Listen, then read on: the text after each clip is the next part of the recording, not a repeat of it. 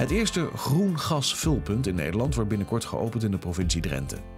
Groen gas heeft dezelfde kwaliteit en eigenschappen als aardgas en kan gebruikt worden als duurzame brandstof voor auto's en vrachtwagens.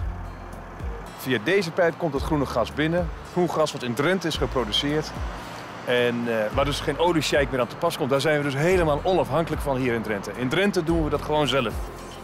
Bij het hypermoderne tankstation Green Planet kan eind 2013 puur groen gas getankt worden. Het tankstation wordt zogenaamd multifuel. Dat wil zeggen dat er biodiesel en ethanol getankt kan worden en dat er laadpunten zijn voor elektrische auto's. Maar het meest bijzondere is het groene gas. Hier uh, achter mij wordt uh, groen gas geproduceerd. Groen gas zit in het uh, hergebruik van aangevoerde groene materialen. Dus het is minder CO2-uitstoot, minder belastend en daarmee ook een voortreffelijk hergebruik van het hier aangevoerde materiaal.